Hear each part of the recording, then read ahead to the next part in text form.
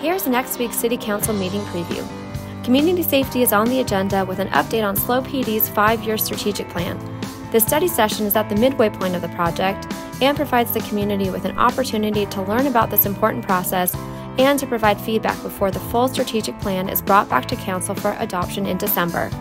Also on the agenda is an update on the long planned Prado Road Interchange project, which is expected to bring long term benefits, including reducing traffic congestion, allowing for easier access to Highway 101 with new northbound on and off ramps, and supporting the creation of more housing here.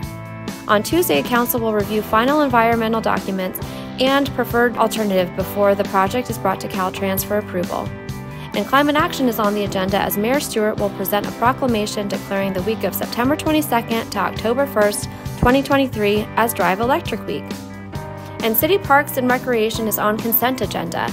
The City Council will consider awarding a construction contract to revitalize Chang Park in downtown SLO, restoring it to honor Chinese culture as conceived by the park's original designer Alice Lowe. The revitalized park will provide a unique visitor experience and contribute to downtown vitality through enhancements to art and culture. The San Luis Obispo City Council meeting will take place at City Hall on September 5th, starting at 5:30 p.m. Participate either in person or virtually through teleconference.